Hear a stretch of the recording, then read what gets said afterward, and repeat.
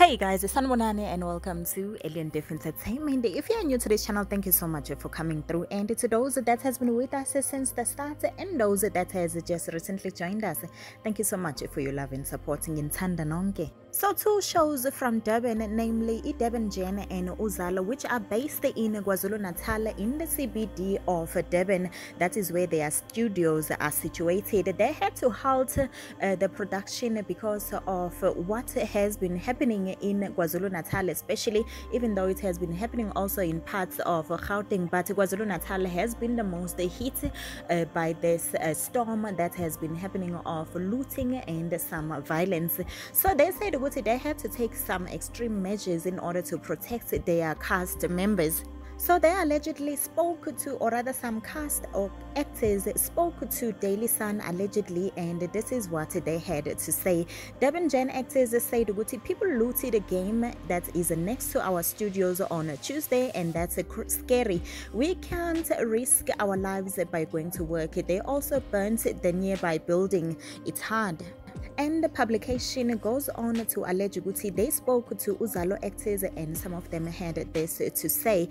We are still going to starve. This is madness. We just pray that our shooting studios won't be set alight as many buildings are on fire. Life is hard and by the looks of things it's going to get harder. Let's pray for Umzansi. And indeed, it is gonna be hard, especially for those other people that at least bebe bona. So now they find themselves unemployed in these days. And also not just that, but it's said ukuthi ukudla akutholakali just.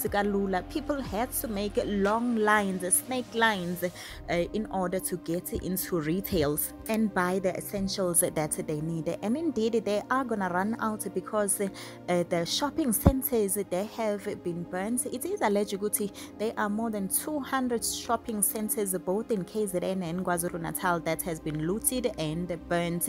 And yes, it is not all the shopping centers that were looted and burnt down, but some of them were burnt after being looted.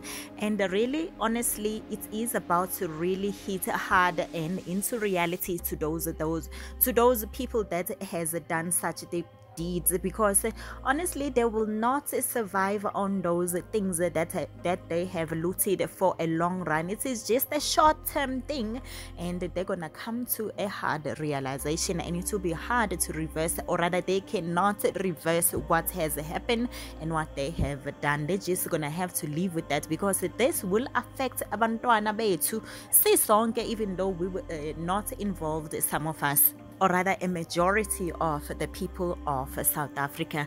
So like really I'm just like it's just devastating honestly because kunzima and kusazoba nzima kwangampela so go ahead and comment it down below in the comment section and let me know ukuthi wena what is your thoughts on what has been happening in our country for the past week?